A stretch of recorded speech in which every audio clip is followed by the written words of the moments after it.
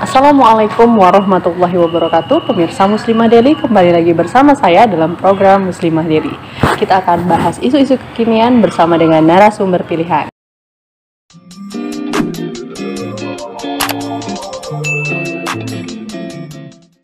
Kali ini kita kedatangan tamu istimewa yaitu Ko BMI Sumatera Utara Ya, siapa dia? Ini dia Kak Hijra. Hai. Hai, Assalamualaikum Kak Hijra. Waalaikumsalam Kak Nurma. Apa kabar? Alhamdulillah luar biasa. Allahu Akbar. Uh, kegiatannya sekarang apa? kegiatan BMI ya kak? Iya. Oh, kalau BMI hari ini tuh kita tuh sedang menyiapkan nonton bareng bersama komunitas remaja Smart with Islam.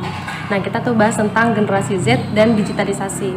Bagaimana perannya? Apakah agensi hari ini tuh optimal dengan berperan di dalam dunia digital kayak gitu? Oke, jadi itu ada uh, clue-nya sedikit yeah. untuk acara selanjutnya. Oke, bahas-bahas tentang pemuda nih kak. Mm-hmm. Pemuda idealnya dengan gimana semangatnya, mm-hmm. gimana pengorbanannya, mm-hmm. gimana kerja kerasnya, yeah, gimana betul. visinya yang jauh, gimana dia akhirnya Realisme. jadi agent of change gitu ya. Nah, menurut kakak, apakah pemuda saat ini sudah dikatakan ideal sebagai pemuda idaman eh? Iya, pemuda idaman okay. ya. Gimana Jadi kak? kalau tanya fakta hari ini yang kita lihat ya bersamaan gitu kan di tengah arus uh, derasnya globalisasi, digitalisasi, teknologi yang sangat sungguh canggih gitu kan ya. Hingga hari ini memang pemuda tidak tahu perannya sebagai seorang pemuda. Pemuda hari ini itu dia makin jauh dari fungsinya gitu. Hari ini pemuda itu makin malah jadi korban dari digitalisasi itu sendiri. Banyak hari ini pemuda yang kehilangan identitasnya sebagai seorang pemuda. Banyak hari ini pemuda yang makin lemah mentalnya. Banyak tadi pemuda yang hari ini uh, terbawa arus ya arus liberalisasi gitu kan arus krisis identitas dan itu sangat terbalik terbalik dengan apa kata Imam Syafi'i Imam Syafi'i mengatakan bahwasanya pemuda itu dalam diri itu ada dua yaitu ilmu dan ketakwaan kalau ini nggak ada dalam diri pemuda maka pemuda itu nggak ada dia nggak nggak ada. Maka hari ini ada pemuda yang dengan entengnya dia bilang ngapain sekolah. Yang aku sekolah aja dapat duit gitu kan. Ada ada juga pemuda yang nolak beasiswa. Nah itu kan gara-gara karena dia sudah tidak tahu lagi apa sih sebenarnya fungsi pemuda tadi. Makanya antara hari ini harapannya uh, generasi lama ya generasi, generasi old. old ya generasi old gitu kan ya berharap hari ini perubahan masalah-masalah hari ini itu bisa diselesaikan oleh pemuda maka hari itu antara harapan dan kenyataan. Kenyataannya pemuda itu adalah pemuda yang terbawa arus dengan liberalisasi dengan digitalisasi. Nggak akhirnya sedikit hanya sedikit aja pemuda yang paham tentang perannya.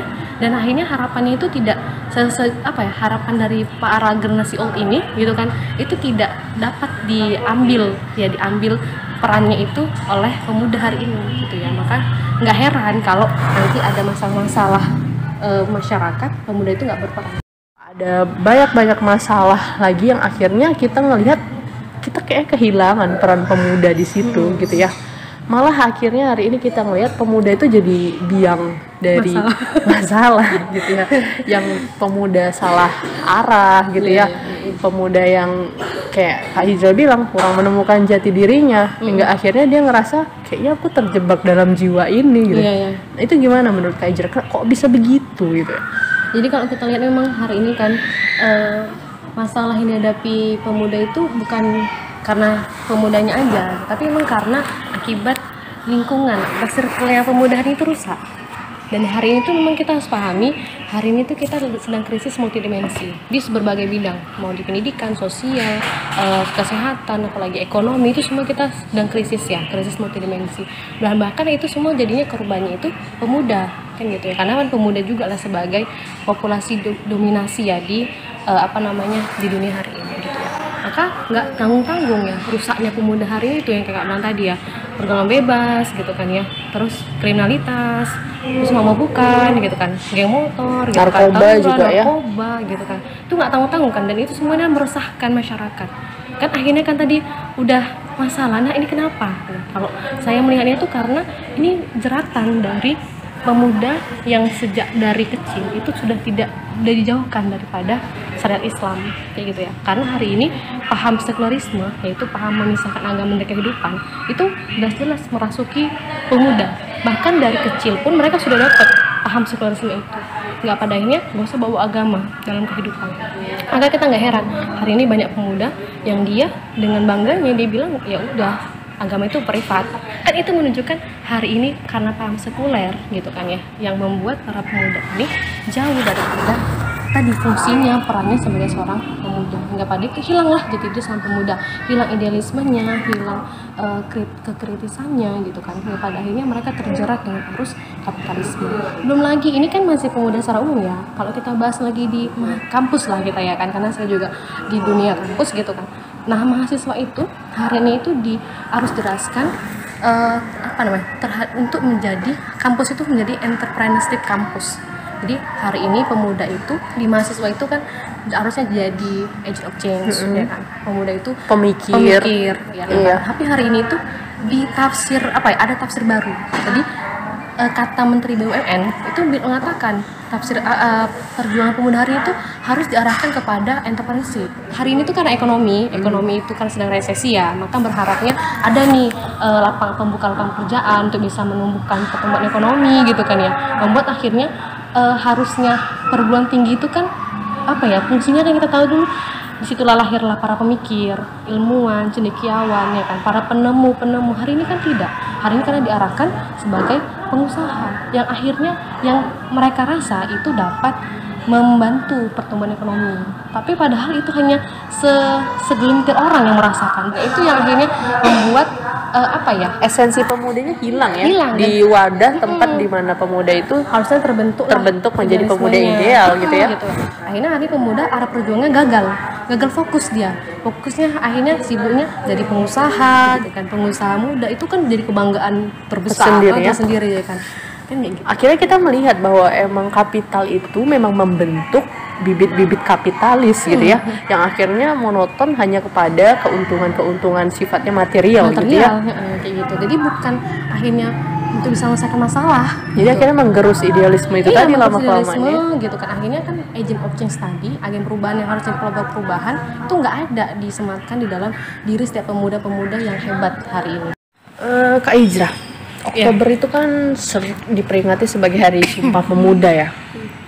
Uh, dan di tahun ini ya tema yang diangkat oleh pemerintah itu bersatu bangun bangsa.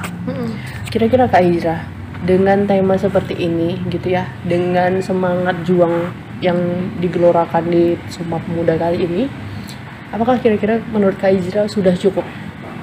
Ya kalau ditanya cukup ya enggak lah gitu kan ya. Kenapa enggak gitu? Itu hanya tema. Udah 94 tahun kan? Ini hari ini kita memperingati 94 tahun sehari Sumpah Pemuda gitu ya. Namun bagaimana faktanya? Tadi kita bilang yang kita udah kita uh, apa kita paparkan tadi kan bahwasanya hari ini pemuda itu jauh dari kata uh, apa namanya dari kata perannya sebagai seorang pemuda fungsinya jadi dirinya sebagai seorang pemuda. Maka nggak cukup kalau hanya sebuah tema bersatu bangun bangsa tapi tapi nggak ada konsepnya nggak ada mekanisme mekanismenya arahnya mau ke mana. Bahkan hari ini di tafsir ulang arah perjuangannya itu dibelokkan menjadi entrepreneur, menjadi pengusaha pemilik modal yang ya bukan untuk menyelesaikan masalah masyarakat gitu kan. Itu kan berbanding terbalik dengan kondisi apa ya, kondisi pemuda di masa Rasulullah ya kan. Kondisi pemuda di masa Islam itu berjaya. Bagaimana pemuda itu mampu gitu kan menjadi pemimpin dunia mampu menyelesaikan masalah-masalah umat menjadi duta pertama untuk bisa menyampaikan kebenaran Islam gitu kan. Akhirnya melahirkan para pemuda-pemuda yang hebat gitu kan yang inovatif yang kreatif yang dia bukan hanya sekedar ilmuwan tapi dia juga fakih fiddin. Maka harusnya nggak nggak cukup hanya sebagai sekedar tema itu tapi harus tahu nih uh, apa nih uh, peran pemuda? Makanya harusnya merevitalisasi peran pemuda gitu kan. Harusnya untuk apa pemuda itu fungsinya untuk apa dan bagaimana nanti ke depannya mereka harus menjadi generasi penerus yang memang menyelesaikan masalah masyarakat. Hari ini tahu ya masyarakat itu sudah dizolimi kan dengan kebijakan-kebijakan yang zolim. Terus mau diem saja kan nggak pas gitu loh. Iya. mudanya itu sibuk dengan urusannya lulus kuliah cari kerja udah jadi buruh. Jadi mentalnya mental mental buruh bukan mental seorang pemimpin.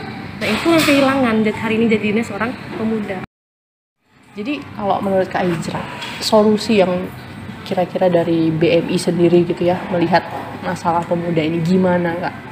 Ya, jadi hari ini pemuda itu harusnya gitu kan ya harus menyadari ya harus menyadari dan harus pede nih sama uh, Islam Kenapa Islam? Karena Islam itu bukan sekedar agama, tapi Islam itu ada ideologi.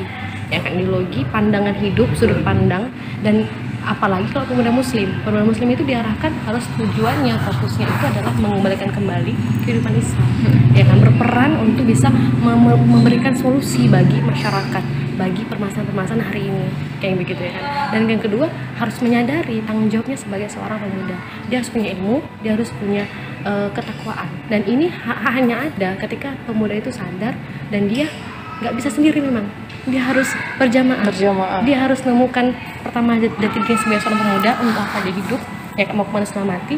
Maka setelah itu dia harus bersama-sama mencari circle-circle ya jamaah-jamaah dakwah yang itu membawanya kepada perubahan yang hakiki perubahan yang diminta. Kalau enggak itu ya hari ini tadi akan terjebak dengan arus yang tadi dibuat oleh kapitalisme. Nggak bisa kita baik sendiri Nggak ya bisa Kak? kita bahas sendiri. Kita harus berjamaah dengan jamaah dakwah yang eh, punya konsep punya mekanisme. Bukan hanya sekedar kelompok yang satu sisi misalnya kelompok manusiaan kelompok kesehatan kelompok pendidikan gitu kan jamaah gitu. Tapi harus punya jamaah dakwah yang tugasnya memahami mungkar dia ma- memahami kondisi masalah problematika umat memahami solusinya dan tahu nih proses perjalanannya seperti apa.